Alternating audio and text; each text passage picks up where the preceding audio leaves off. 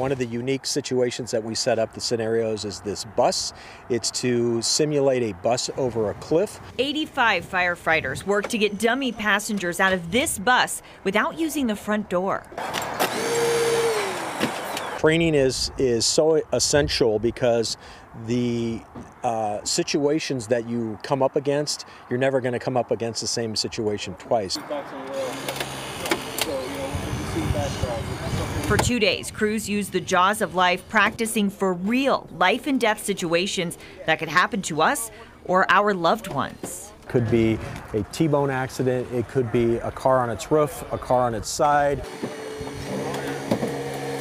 Lay out different scenarios to challenge them to do the critical thinking that's required for uh, when they're responding to an accident scene to make sure that they get to that patient, get that patient accessed and out of that vehicle as quickly as possible.